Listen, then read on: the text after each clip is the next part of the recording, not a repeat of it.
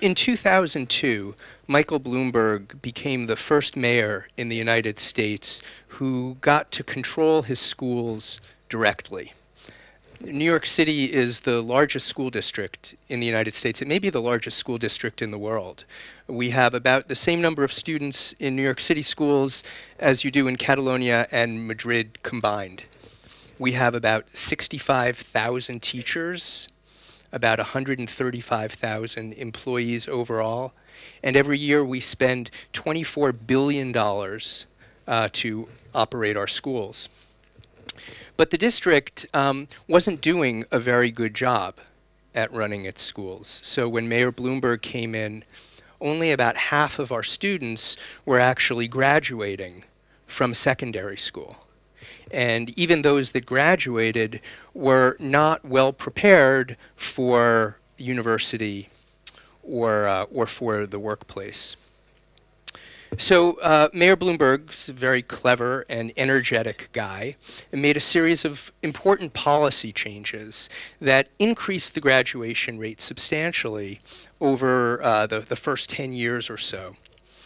But he recognized that getting a large organization, getting government to do something different, isn't only about changing the policy, it's also about changing the practice, what, what government does every day, changing the culture, changing how it, how it works.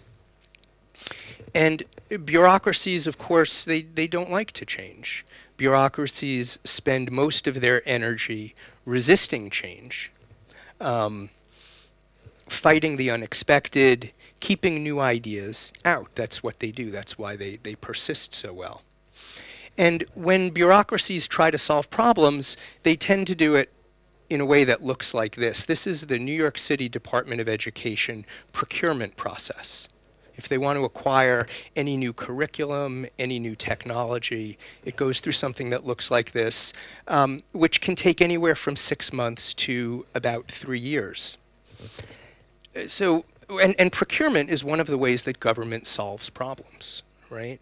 So government was solving problems like this, and meanwhile, the rest of the world was increasingly solving problems in ways that, that look like this, um, with hackathons, with user-centered design, with lean startup methodology, all of which are ways of inviting the unexpected into the system intentionally in order to help different kinds of change happen more quickly.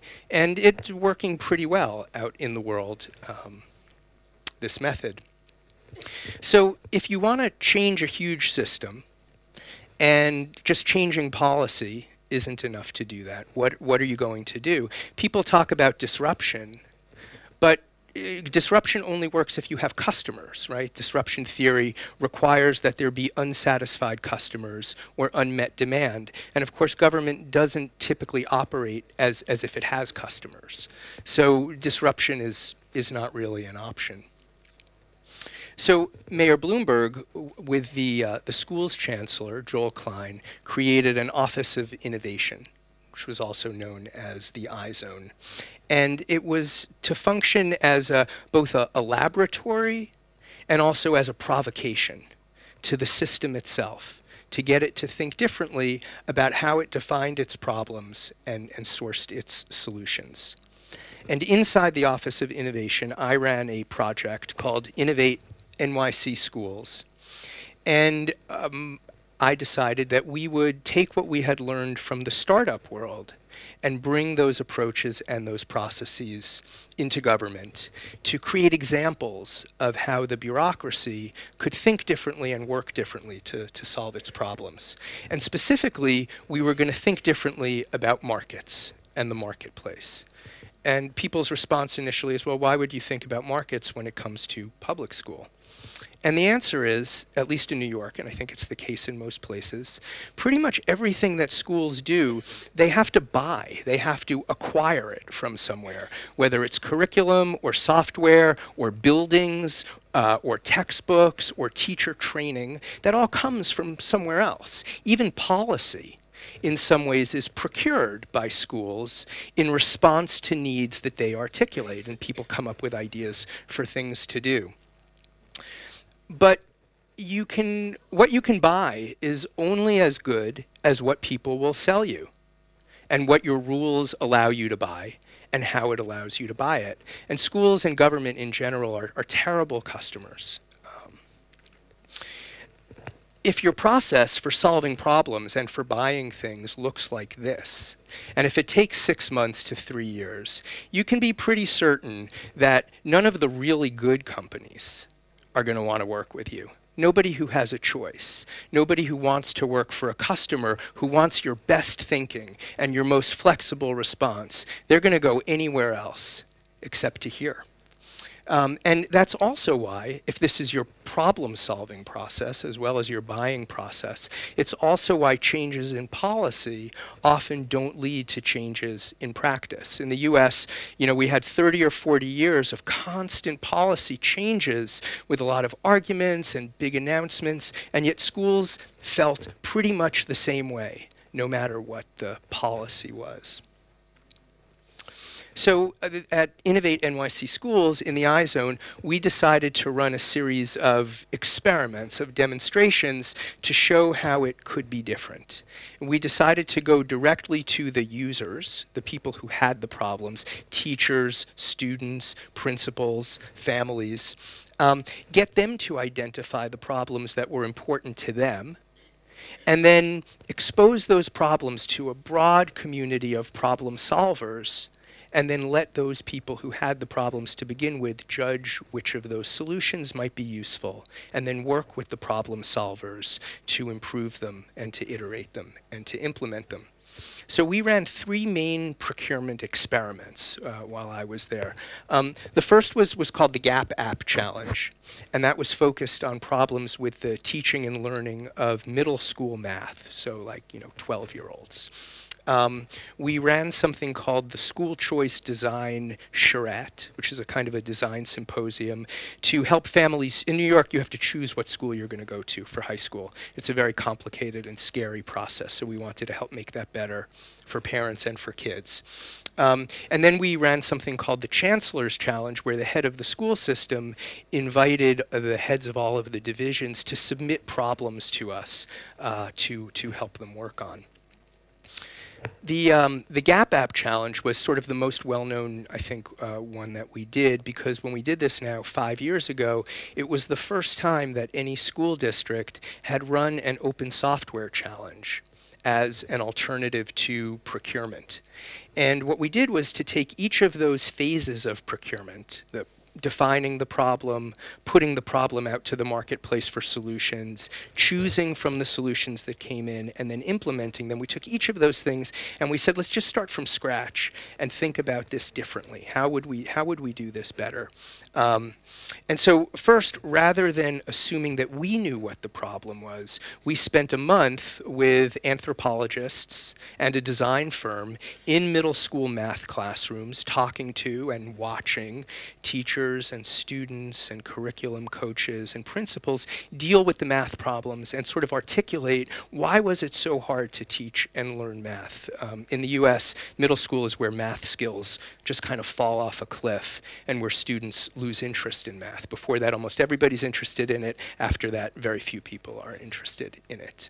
Um, and then, once we had an idea of what the problem was, instead of writing a specification for a tender that says, okay, we want a solution that looks exactly like this, which is typically what government does, instead we just sort of put the problem out in a very general sense. S uh, specifically, we were not specific about what the answer should look like. So that people could come up with their own ideas and give us their own best thinking as to what a potential solution might look like. We didn't want to tell them what it should look like. Um, and then once we had solutions in hand, typically what, what government does, what schools do, is they kind of say to schools, here, we've got this, now use it. And typically schools don't because they weren't involved in defining the problem or choosing the product to begin with. So instead of doing that, we invited the software developers, this was all software, into the classrooms for nine months to work with the teachers to iterate and improve the products so that they suited an urban classroom better than they would have without that collaboration. So if we had done this as a typical tender, a typical procurement, we might have had maybe six or 10 companies respond. And in our best hopes, we thought by doing it as a challenge, we might get 40 or maybe 50 responses. Um, we, got, we got almost 200 submissions. And we had almost 100 classrooms step forward and say, I want to invite these developers into my classroom for the school year to help make this product better, to help make it suit my needs uh, more closely. And the idea that teachers and students and commercial for-profit developers could work together for a common goal was like, it was a heresy at the time. I mean, there was this idea that, you know, you had to keep this wall between the customers and the people who were making the things that the customers were buying, or else something unethical or exploitive would happen. And so when you have that kind of wall between the people who are making the solutions and the people who are buying them, you end up with products that are often not very useful because there is no dialogue. And this model of using classrooms for test beds, where the teachers were benefiting as much from that relationship as the developers were, that caught on very quickly. And now in the US, we have hundreds or, or maybe thousands of classrooms acting as these test beds with small ed tech companies uh, funded, these relationships are funded by uh, some of the major educational foundations. Um, does that change? Hmm. Hang on one sec. There we go. So um, that was really successful, and we used the political capital that we had developed to then go on to another problem, this time, as I mentioned, with um, New York City high school admissions. 80,000 kids every year have to choose a high school. It's an extremely stressful process. Um, I have two kids who went to New York City public schools all the way through, and it was it was a nightmare. Um, so we specifically chose something very different than middle school math because we wanted to show that this process that we were developing it wasn't just about academics for example, or it wasn't just about having 200 companies respond, that this was a flexible process. So we wanted to also show that it could be done in a very short time the GAP app challenge took about six months to work its way through. Um, here we gave ourselves 10 weeks. Uh, we also wanted to show math is something that software developers are really familiar with. There are lots of people who build software for math. We wanted to take something that was kind of unusual and strange. Nobody was familiar with the New York City high school admissions process. Nobody was building software for it. So we wanted to show that this approach could work even with a very unusual topic going? Yeah. Um, and so given these goals, we knew that we needed a different structure. An open challenge wasn't going to work because we had a lot of explaining and a lot of nurturing to do, just so they would understand how the rules worked. So instead of an open challenge, we did a design charrette, a sort of a design symposium, where we selected a half a dozen different companies out of a couple of dozen who applied, and we invited them to work with us. Um, almost like how shall I say? Um, yeah, like a sort of a symposium, and we uh, we brought in Department of Education admissions experts to explain how things worked. We brought in anthropologists again and also people who had designed consumer shopping sites and dating sites to help the developers understand how people make choices, right? Because you're, you're making choices here. Um, it's, a, it's a sort of a consumer situation. And we had behavioral economists come in, uh, and again, to help, or at the same time, to orient the developers, but to give them sort of weird ideas because we wanted them to think weirdly about this stuff. Um, and after just eight weeks, we had six applications that were released to the public, all of which took a very different approach from one another, so that the set of functionality across the six of them was much greater than you could have had from any one of them alone, which was also a pretty untraditional thing for government. They usually pick like one thing, and that's the one that they want you to use. What was really important for us was that the CEO of one of the companies that worked with us said in an interview that the product that they built for us was the best product they had ever built in the four years they had been around. And to be able to take that feedback back inside to the legal department and the procurement department and say that companies would want to work with us, not because we'd make them money, but because we'd make them better. That was a really profound shift in perspective uh, for what it meant to be a good customer, right?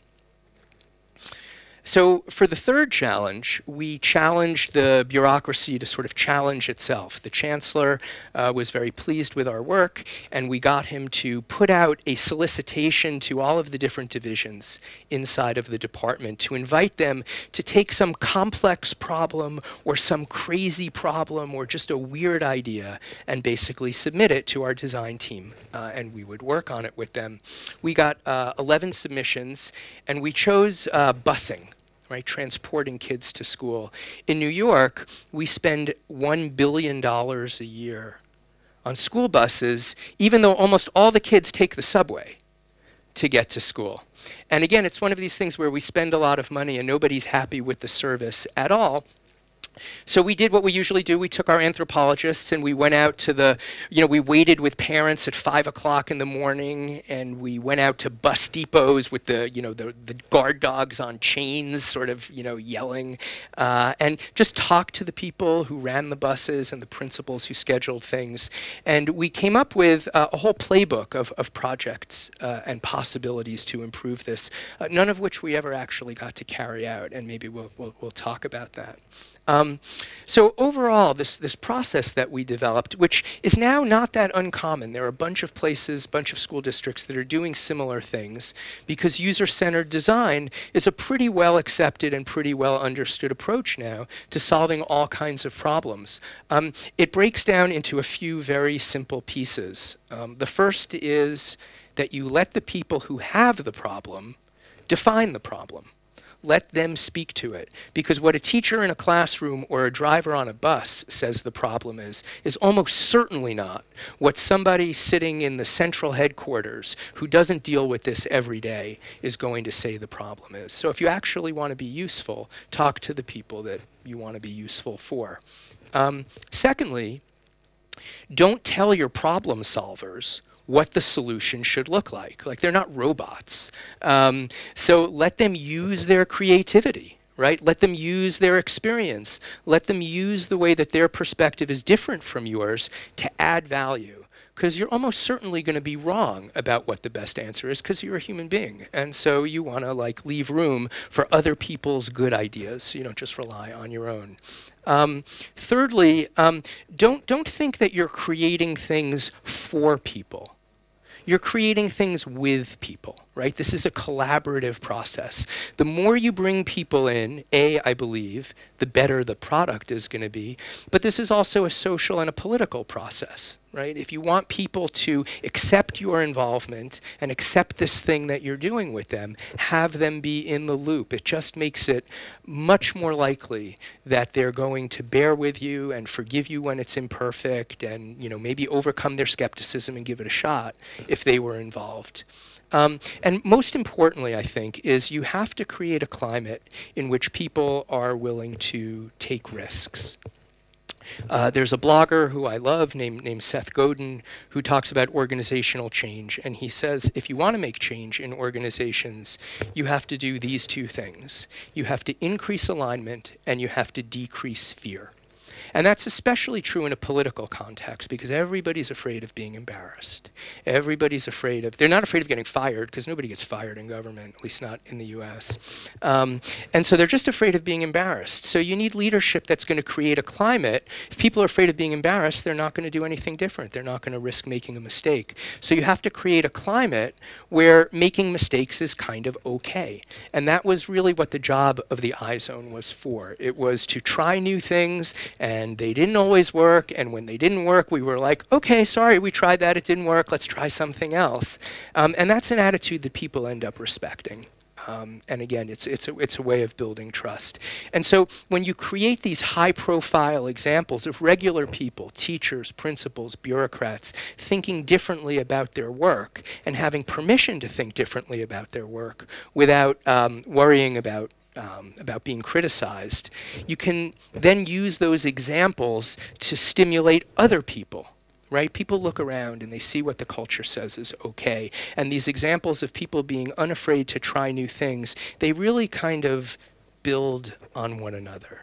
And that's sort of how you change practice, right? Is when people's everyday sense of how do we do things around here shifts. Not because the policy is different, but because that's how my the person sitting at the desk next to me does it, and I'm gonna I'm gonna do that because that's that's how we do things here. The downside of that, I don't believe you can force this kind of change. It takes time for those new things to become habits. Habits, they just habits are things you do over time, um, and so if you don't have the the time, if you don't have the leadership that allows that process to take hold, then the change can be not very durable. Um, and then when you get a new leader or you get a new policy, then things go back to the way they were because these new habits don't have time to take hold. And again, maybe we can talk about this. Um, that is one of the things that happened in New York when we had change in leadership. Um, people go back to doing what feels safest. Well, uh, I was wondering, the, the iZone pretended to move from a classroom-centric model to a student-centric model. Mm. Could you give us some examples about what does this approach mean for schools? What, what was that about? Sure. Uh, so a lot of times people would think of the iZone as being about technology. And some of what we did was, was about technology. In general, I think people sometimes confuse innovation with technology. They think they're the same thing, or they think that innovation requires technology. Uh, but the iZone didn't start out with that assumption. what we started out with was permission working with teachers and principals to question all of the assumptions around schools. Right now, in pretty much every place, schools are not really organized. We take them for granted that we have like teachers at the front and kids, and the kids are all grouped together by age, and everybody's learning the same thing at the same time. And then when you get to be a certain age, you sort of all move as a chunk to the next level, and the school day lasts this long, and you don't do any learning outside of school. And you know, all and all, it all it only takes place in this building that we call school. Um, so those are all assumptions and there are plenty of good historical reasons for them. There might even be some good educational reasons for them. But they pretty much all grew up because of the technology that existed at the time. Right? Schools themselves, blackboards, classes, age grouping, those are technologies, right? And so um, after a while, they become habits. We take them for granted. Uh, but typically, students are not at the center of that right? It's not as if we put the kid in the middle and say everything else is going to revolve around the kid according to what that student needs. Typically, we take certain things for granted, like a curriculum or the length of a school day or a school building, and we expect the kids to revolve around those things and adjust to those things. So one of the provocations of the iZone is, well, what if we didn't have that assumption? What if we were sort of starting from scratch? And so a lot of the schools that we worked with weren't involved with software at all. Um, they were just thinking differently about the school day, about time and place and sequence and groupings and that sort of thing. And uh, also, the iZone was mainly about blended learning and personalization.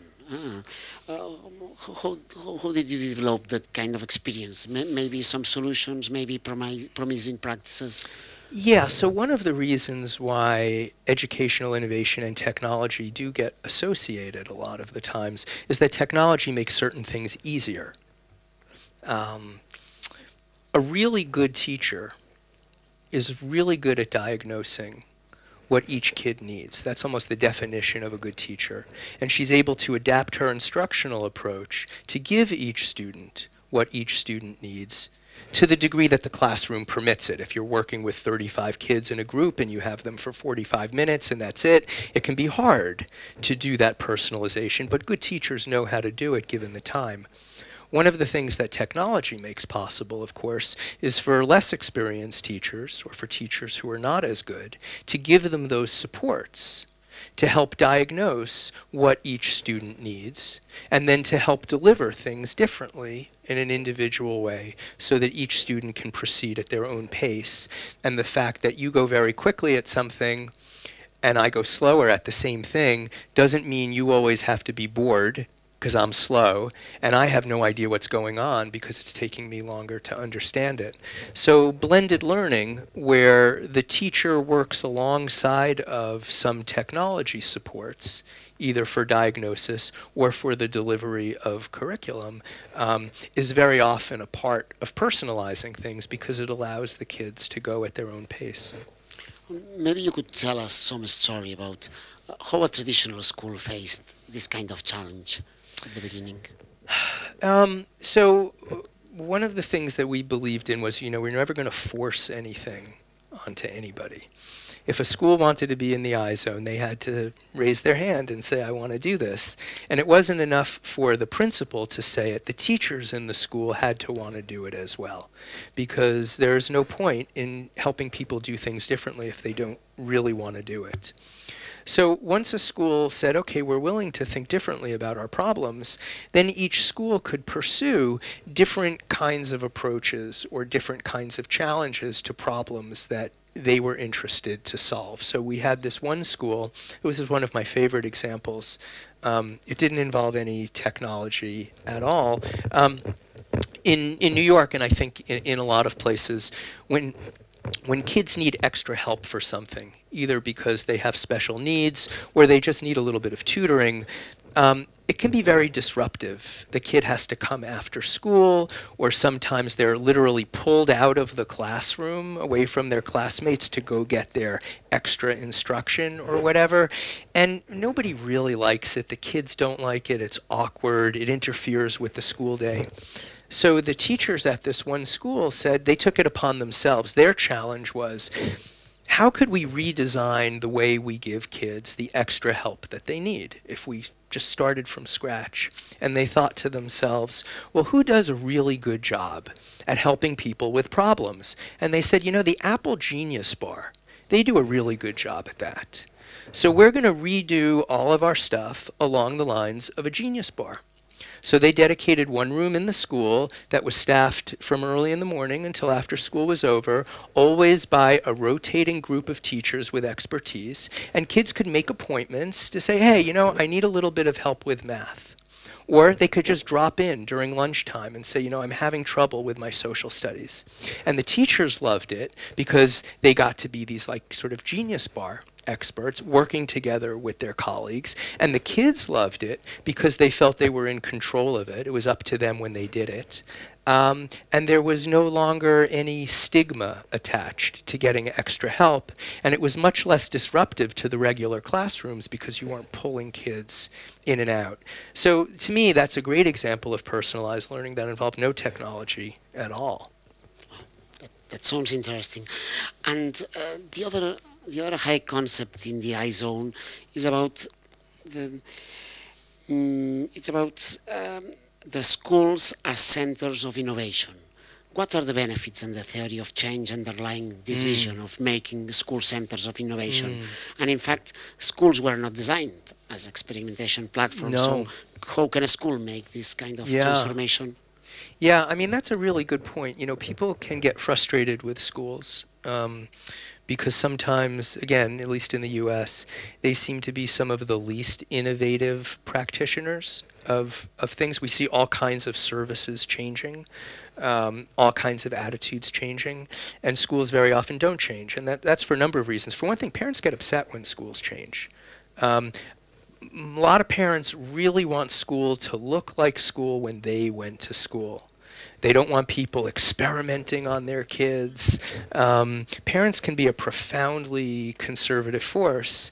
At the same time, they get very frustrated when they don't think the schools are doing a good job with their kid. Um, so they can be conservative, they can be very selfish. Um, but schools weren't designed, as you say, to be innovative. Schools were designed to be conservative in the in the literal sense, right? To continue the practices that have gone on before, and um, they are well set up to sort of take orders from the top. You know, if the chancellor tells them to do something different, supposedly the schools will do it differently, but we all know that, like when you close the classroom door, a lot of time teachers do what they want to do.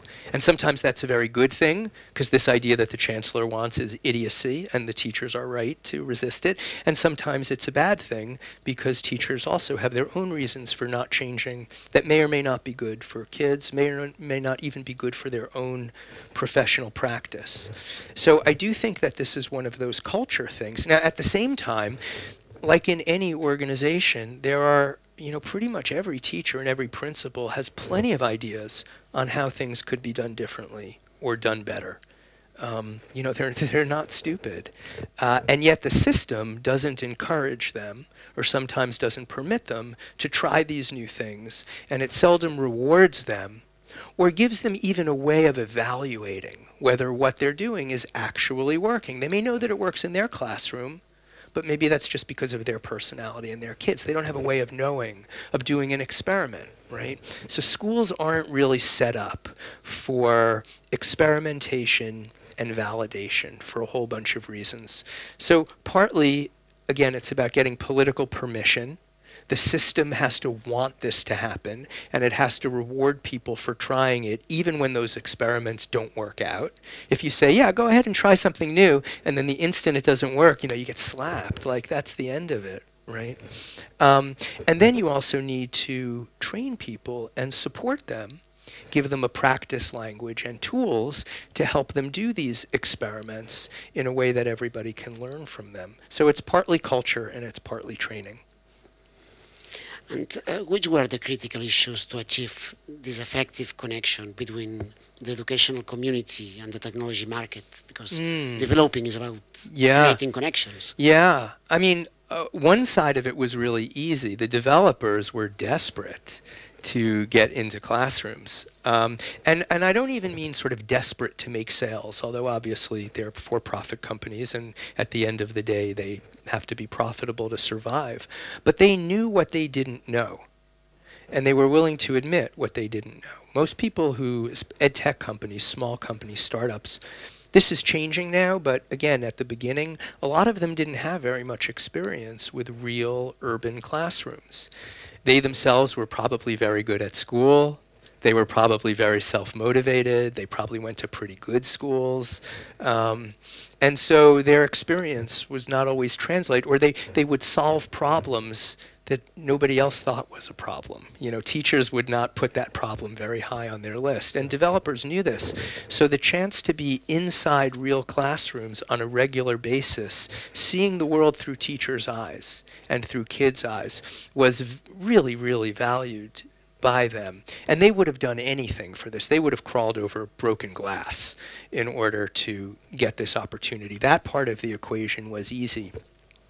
Where we had to do some good work, I think, was in making sure that this experience would be valuable to teachers and to principals. They had to see a benefit to their everyday practice beyond just having these strange people in their classroom or beyond just trying new software, because it's easy for them to try new software if they wanted to.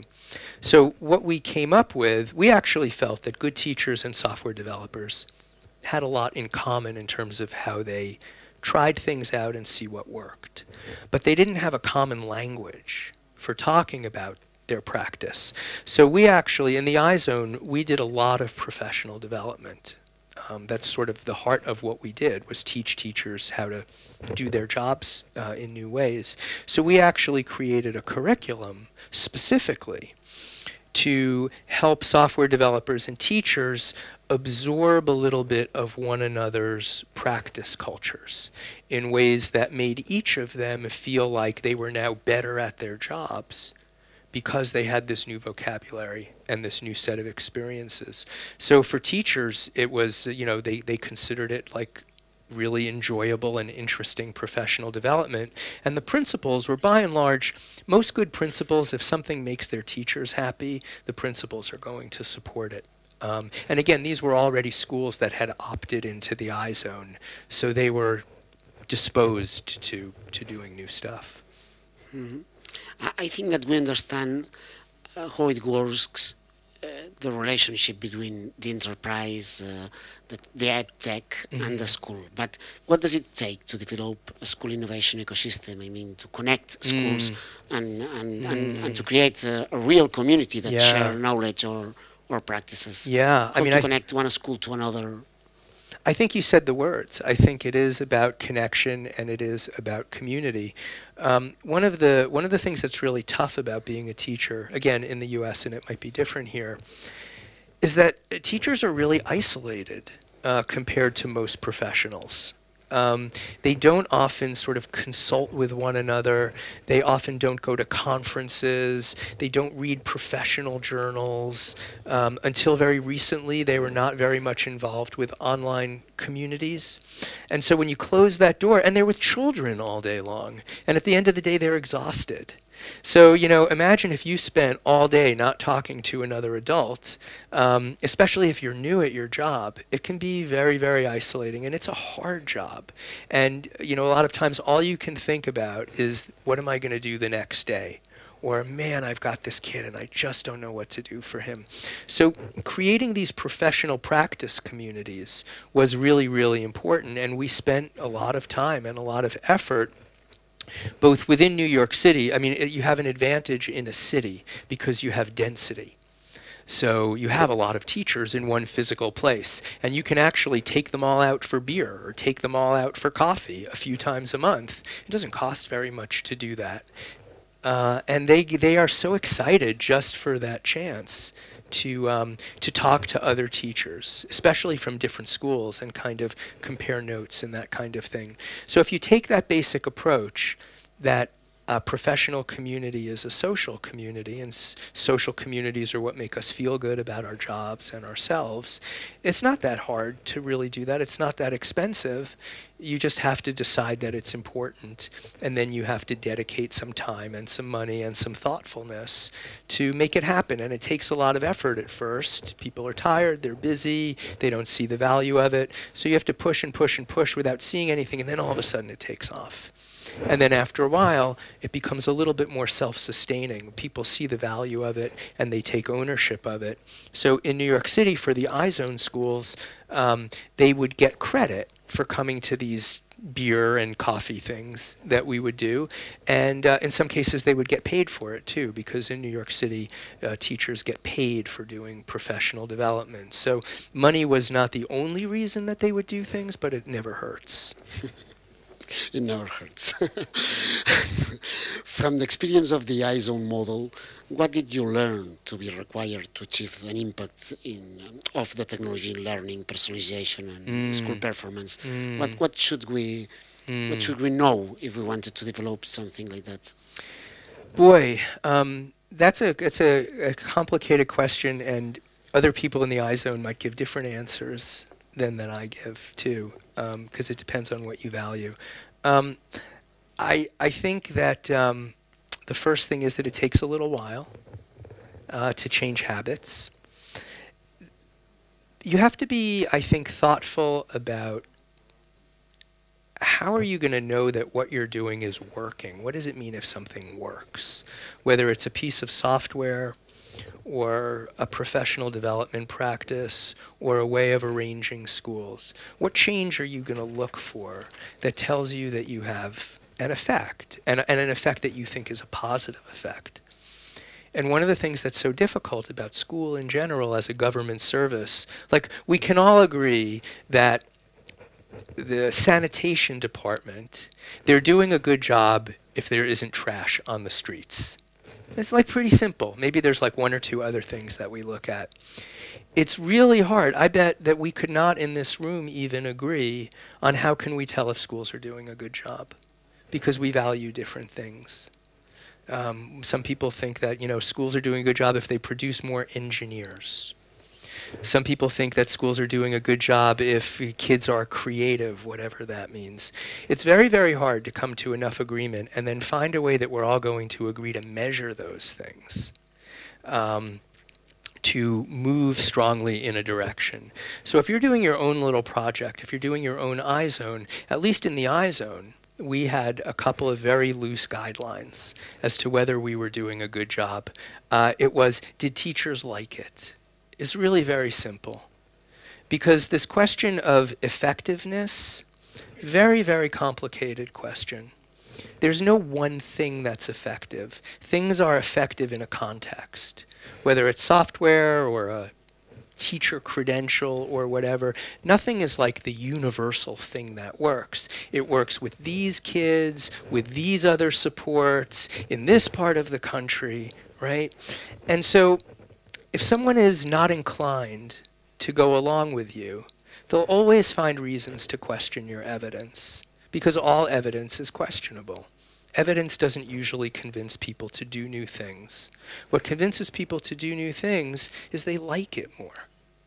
Um, and so I'm actually a big believer in um, if, if, if teachers enjoy being in school more, if kids enjoy being in the classrooms more, if parents express satisfaction, to me that's about as good an evidence as I'm likely to get that these changes were worthwhile. Because if you just look at test scores, there are half the people in the United States that think that test scores mean everything, and there are other half of people who think that test scores mean nothing. And they're both right. Um, so, and, and even if test scores, you know, did mean something and things were effective, if teachers didn't like something, they're not going to use it anyway. They'll find a way not to use it. So I think having your own idea about how you're going to judge success and making sure that everybody else involved shares that. How are we as a school community going to know if we're doing a good job? Maybe it just means that we tried a certain amount of new things and we did a, we, you know we paid attention to the results and we changed something based on that. Maybe that's the first big change in a school that never looked at outcomes before or never looked at their own kind of evidence and used that as a way of, of adopting practice. Ultimately, in a political system, the test is this is the person who control the schools get reelected. Um, so this, this question of how you know you're doing a good job is a very complicated one. That's a good point. And this this brings us to assessment. Everyone mm. wants assessment. Everyone mm. wants data, for maybe for control, maybe for accountability, mm -hmm. maybe to know uh, if it works or to invest more or or quit investment. How should be a good and quick assessment of technology in the classroom? What, what, was your model like? I think quick is really important. Um, I think quick is really really important. Um, quick and dirty is better than slow and precise. The, the typical way of validating things in schools, the traditional way, was, you know, the gold standard of research is a random assignment study where you try and find two groups of people who are equivalent to one another somehow, and some of them you do this to, and some of them you do this to and you pretend that there are no other factors in their lives except the thing that you're doing. And then you do this for like three years is a pretty typical period. And then you take a year to analyze the data. And then you see an effect that's like this big. And meanwhile, it's four years later and the world has moved on and it doesn't matter anymore because you have a new idea. Um, people always seem to want a lot of extra confidence before they start to do a new thing. It's like, prove to me that this new thing works. Well, prove to me that the old thing works. Like, you know, if you start from this position that everything that we're doing is working and is working perfectly, then we can all go home and have a drink. Um, so the first thing I would say is let's not ask for a higher standard of proof from a new thing than we ask for the old thing. Or at least let's be honest with ourselves that we're stacking the deck against the new thing. Because um, we're not starting from the perfect, we're starting from what we have. Um, I think that um, you, there, there is a lot of room for evidence. The question is, what kind of evidence is going to be most helpful? And also, what's the consequence of making the wrong decision? And I think that's another important thing that the iZone was, was very conscious of the higher the consequence of making a bad decision, of course, the more certainty you would like before you do this thing, right? So evidence is one way of mitigating risk. That's why we want it. But there are other ways of mitigating risk, right? You can make you can mitigate risk by making the consequences of being wrong not so terrible.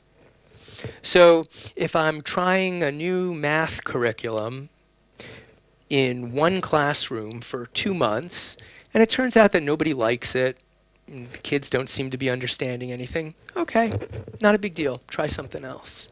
If I adopt that for my entire school system and I spend millions of dollars and I spend six months training all the teachers and then I'm wrong, oh, well, there's a big downside there. So, you know, the way that in the, you know, in the, in the startup world, um, the way that's been found very effective to mitigate risk is to spread your risk by trying a lot of small experiments, knowing that a lot of them are not going to be successful, but the ones that are are going to be worth really kind of reinvesting in. And so you can make the choice to say that schools are not a laboratory and that schools are not an investment portfolio. And we're going to tolerate zero risk. We could make that choice as a society. But then we'll get exactly what we have right now. And it's not as if that what we have right now has no downside or no risk, because if it were, we would all be delighted with the way our schools are. And, you know, a lot of people are not delighted. The budget of the iZone project has been reduced uh, from $47 million to almost uh, $3 million. What were the main barriers during these years that the model has faced? And in, in a recent interview, you said, politics play a huge role in the education policy, policy shift. School districts are extremely political places. Could you explain that? Yeah, yeah. I mean, it does come down to politics because it's government, right? Um, so we were fortunate in New York to have Mayor Bloomberg for 12 years, although everybody got a little tired of him after a while. 12 years of anything, even something great, is a long time. Um, but he had a particular approach to government, which was we're going to try a bunch of stuff. And some of it will work, and the stuff that doesn't work we'll throw out, and then we'll try a bunch more stuff. And, you know, that was what people liked about him this sense that of sort of lean forward into the problem, try some things, be honest when they when they don't work. It also coincided with a time when in the U.S. when there was a lot of money from the federal government under Obama, the federal government uh, spent huge, hugely more money on schools. It was actually started by George Bush. He was the one who got the legislation passed. School spending went up enormously. And a lot of that was around specific programs. The program was called Investing in Innovation. So there was money that was dedicated, and, and a bunch of the iZone money came from this investing in innovation. Um, uh, grant program. And then there were also a lot of educational foundations that were giving money to school districts to try new things. So the iZone came along at a time when there was a lot of support and a lot of money for this. And so it got to be quite large. Um, and maybe too large in a lot of ways because being big is not the best thing for an office of innovation. You better to be small than big if you have a choice. Um, and we were able to do a lot of work that was funded from outside. So when the new mayor came in, Mayor de Blasio, who basically his entire campaign was whatever Bloomberg did, I'm going to do the opposite. That was his entire campaign. Um, and he brought in someone to run the schools who was, again, about as opposite as you can get. And it was pretty clear that she did not or would not understand the work that we were doing. And if she did understand it, that she wouldn't like it. And so um, this also coincided with some of the grant money running out. And the iZone shrunk in the course of a year. It shrunk dramatically, both in terms of dollars and in terms of staff. And so by the time I left about six months after the administration changed, I was curious to see what the change would be like. And the iZone was down to about four people, and um, it was absorbed into one of the parts of the department that it had tried to change. It was absorbed into that department and kind of buried, and basically given the instruction to do nothing new anymore, to create no more examples of how the system could be different, but just to kind of let the clock run out, to do the same things that we had been doing in 2012. They were just going to keep on doing some of those things in 2017. So by definition, really not very innovative. And so the work that's going on in New York right now, there is not really very much interesting work, which is sad for me, but a lot of the examples got picked up by other school districts. And a lot of this work is going on in other places now. So, in that sense, since our job was to create examples that other people could follow, that was good. Um, but it is, like I said, really vulnerable until you actually change people's habits, which we weren't quite there long enough to do. Another year, another two years, and I think it would have stuck. Um, but until that happens, you're really vulnerable to politics. So, uh, what what do we need to design a model of education innovation that mm. can be that can consolidate and, and become scalable, maybe? Yeah, I mean, I, again, I think the political will needs to be there. You need to have a leader um, who sets the rewards and the consequences, right? There need to be rewards for people to do things differently. I don't know enough about the structure of education here to understand what those might be. The rewards don't have to be money, right? Sometimes freedom itself is its own reward. Um, sometimes recognition is the reward for people to be able to stand up and say, yeah, I'm doing something different and I am applauded for it by my peers. But that really does all start with politics and you have to have someone who has a little bit of courage and a little bit of vision and is willing to stick with it for a while. And then you need people to put it into practice who understand how organizations change or don't change because you're not going to have much time. But if you do create the new habit, then the new habit will be around for a long time. Mm -hmm. And uh, talking about the educational technology market, do you think that the user is currently at the center of the design of this market? And what is currently lack, lacking in the educational technology market? Mm. What future mm. and opportunities mm. are there? I, I think the educational technology market has really, really come a long way in the last 10 years.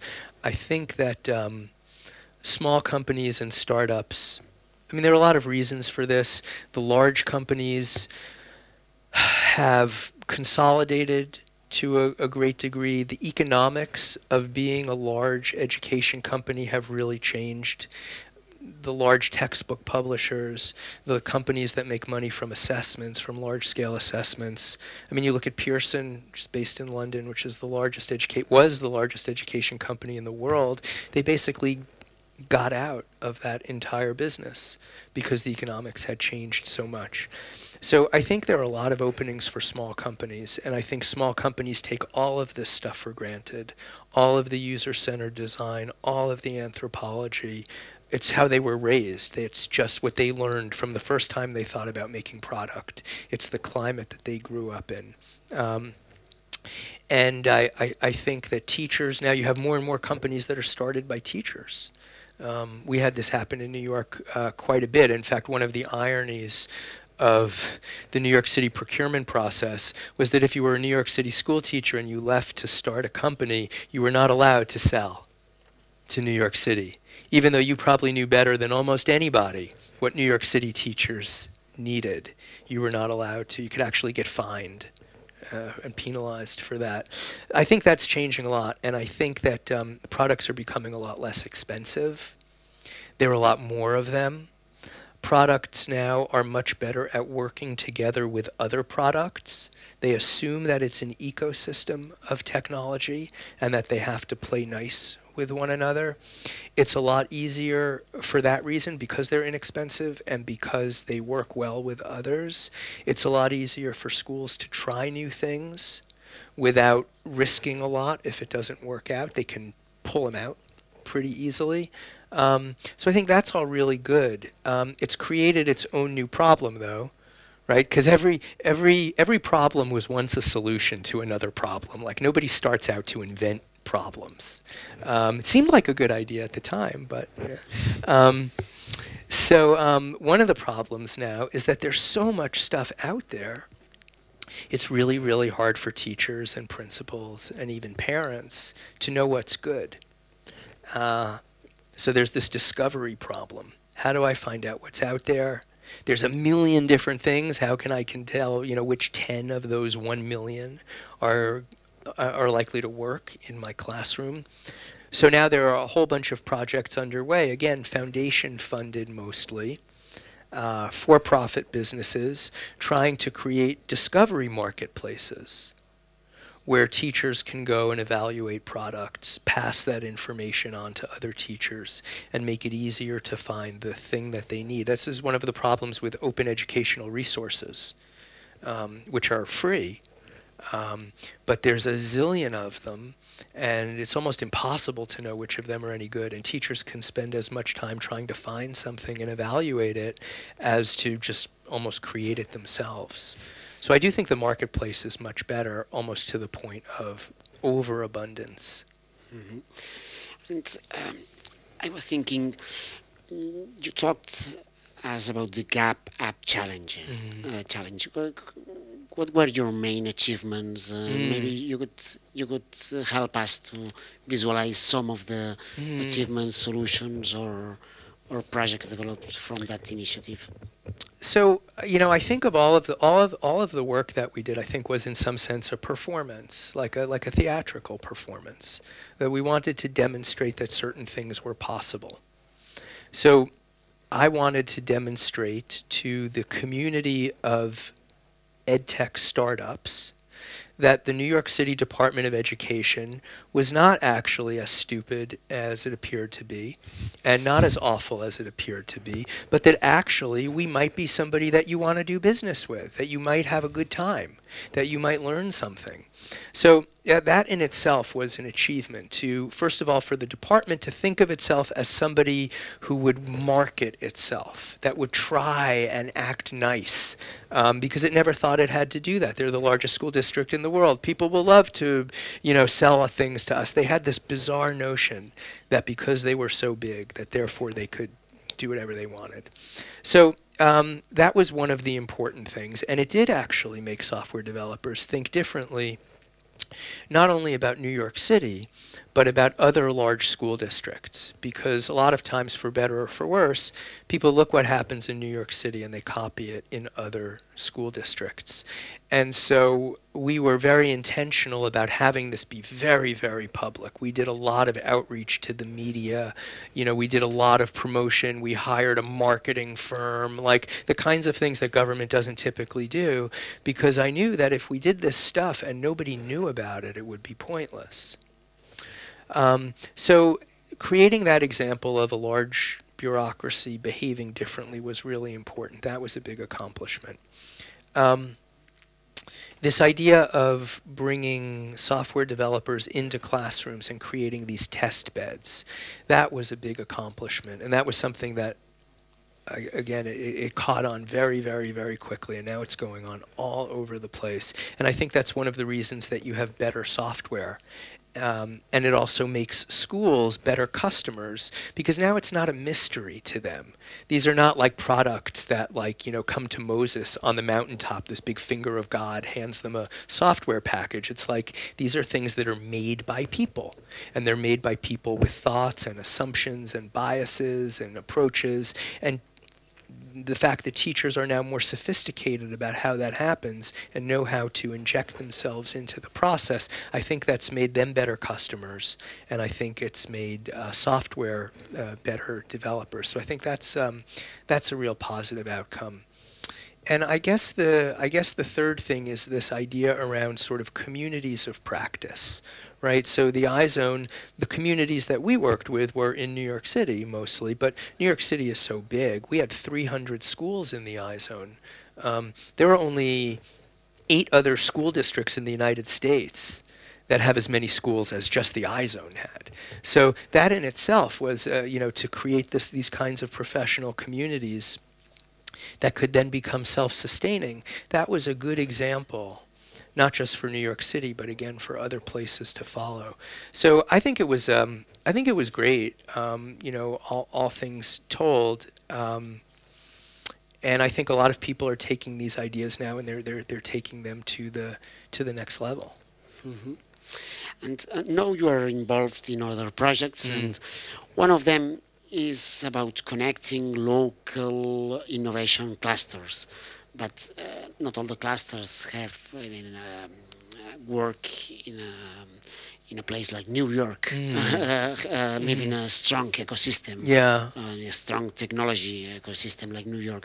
Um, how this work? w- Yeah. Which which can be the the future opportunities for these local clusters?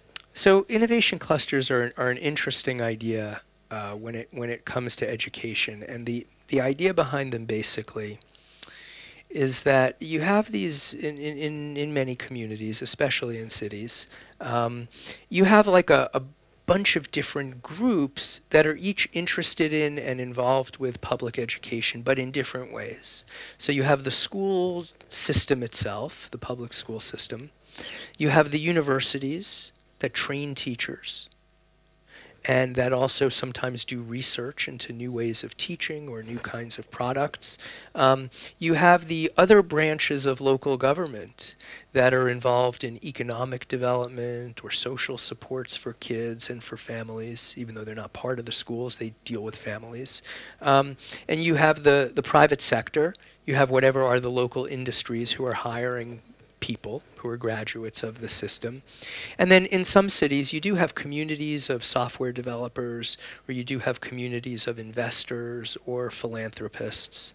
And the idea behind innovation clusters is that each of these groups has their own set of interests that overlap but not completely.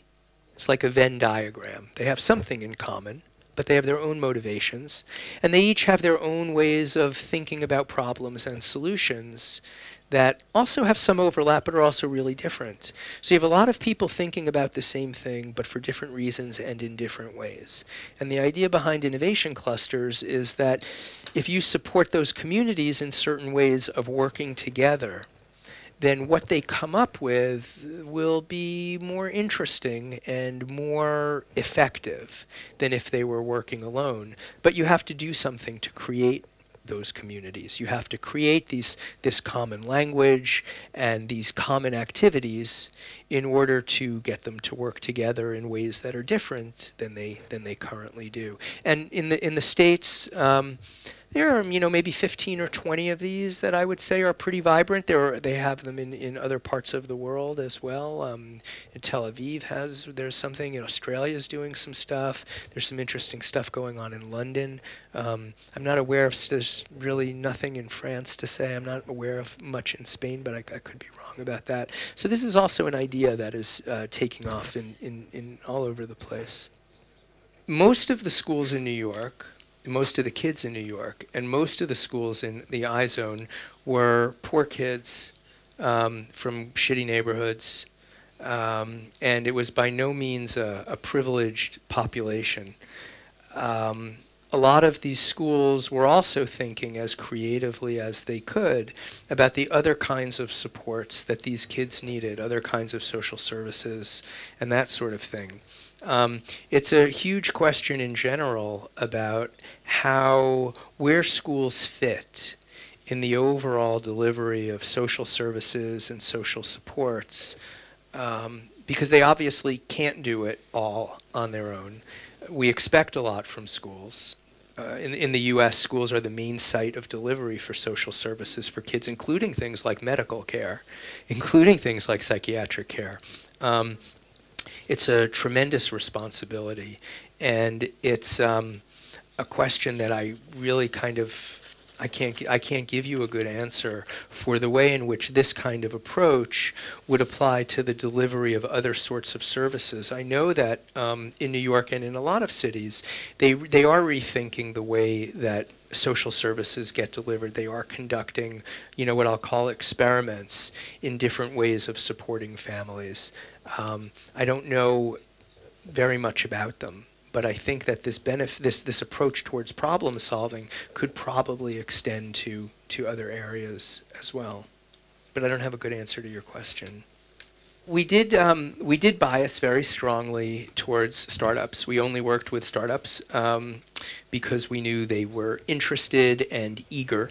Um, the big companies didn't really care that much. They were um, not willing to have the kinds of relationships, the kind of openness that we required. So they kind of took themselves out of the picture. Um, you know, we looked, it was very, how shall I say, sort of opportunistic. Um, it wasn't so much that we said, well, gee, math is a really important problem, and next we'll look at painting, or we didn't really have an agenda. It was more like, okay, math was a good place to start because we knew we would get a lot of response because there were a lot of people already thinking about math and software and things like that, and we knew it was very important.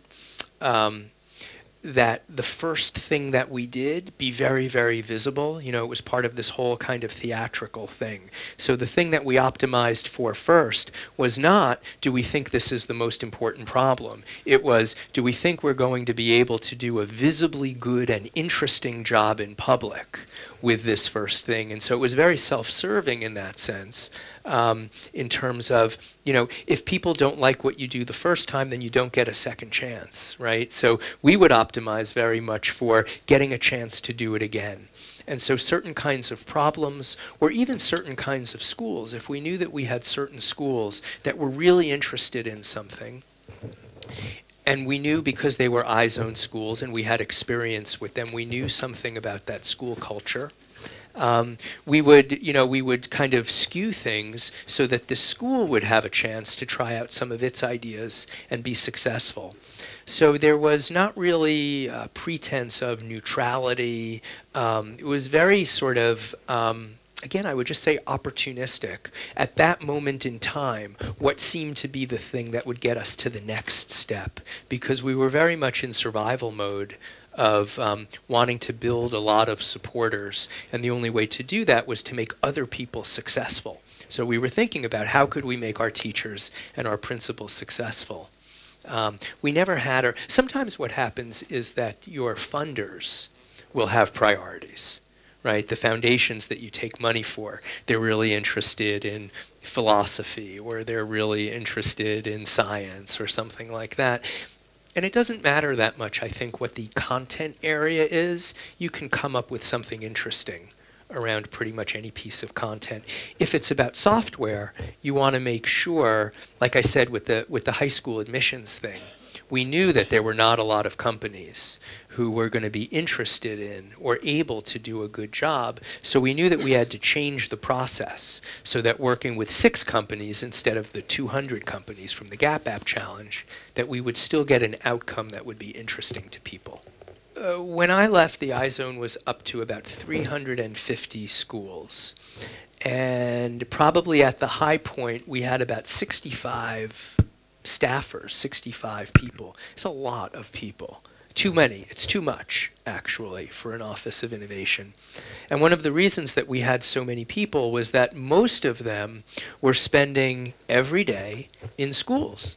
Um, doing professional development and coaching around the blended learning.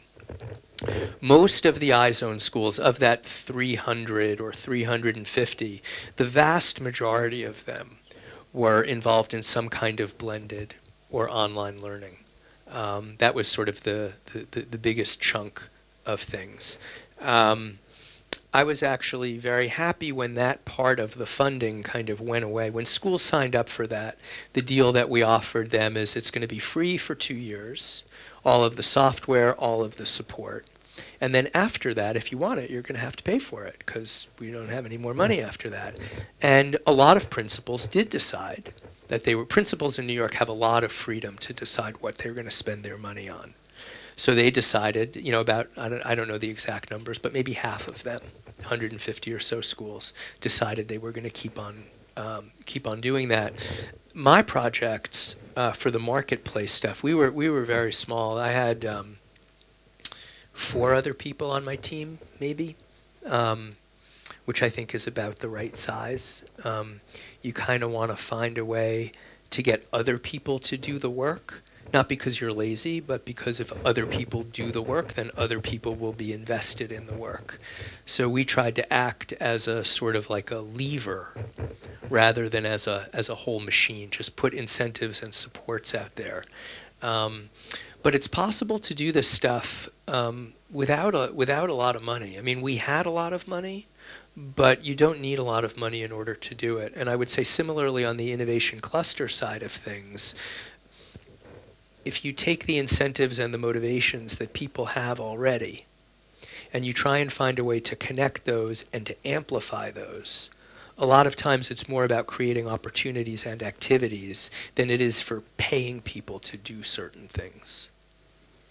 Principals are very clever and they will do pretty much whatever they have to do to get some benefit for their school. So for the blended learning stuff, in fact, if you signed up for it, we gave you a whole bunch of laptops that were paid for by the foundations. And turned out that like some of the principals, they didn't care about blended learning at all. They just wanted some free laptops. Um, and so that was something that we learned after the first year. You really want to be um, careful in evaluating people's motivations. Now, it's not the worst thing in the world that schools end up with a bunch of laptops, even if they're not using it for the reasons that you hope they would.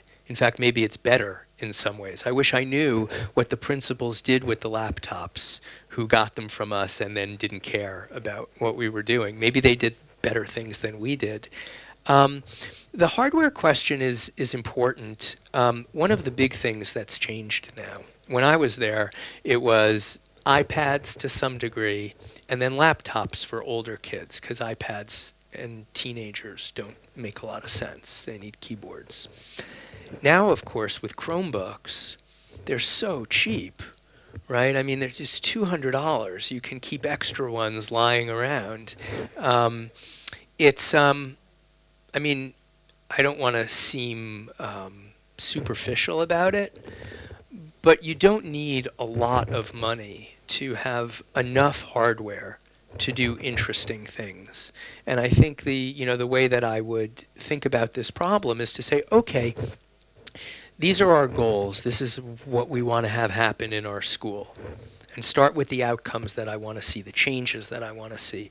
And then I would work backwards from there and say, well, does technology have anything to do with this? Okay, maybe it does have something to do with it. Okay, what role is technology going to play? Um, and then what's the cheapest, most flexible, most efficient way to, to do it. And it might be that you need, you know, you need one Chromebook for every kid for one thing, or it might mean that you need one Chromebook for every 10 kids. Or it might be that the most important thing is just that the teachers have Chromebooks and that the kids don't actually need one. So it sort of depends on what you want to uh, actually accomplish. Um, but fortunately, the hardware is getting cheaper and cheaper and cheaper. I mean, one of the things that we did, that Mayor Bloomberg did, it took him a long time he hated having cell phones in schools. And initially, he banned them. If you were a kid and you brought in a cell phone, they took it away from you. And then after a while, they realized like these are pretty powerful computers. Like instead of buying tablets for everybody, why don't we let the kids who have phones use their phones? Um, so that, that works. Uh, and a lot of school districts now have that. You know, it's called BYOD, right? Bring your own device. Um, and that's a real way of cutting some of those costs. And then you can spend the money on kids who can't afford smartphones. Um, but yeah, hardware is part of it. And then there are questions, interesting questions of fairness and equity about kids who have access at home. They have some kids have broadband and some kids don't. Some kids don't even have a quiet place to do their homework even with a notebook. So, you know, I know a lot of teachers would never give homework that required kids to be online at home because they knew they couldn't count on kids being able to be online at home. And then there are other questions about how do you address that. So it's important, but I always feel like these are these are sort of solvable problems.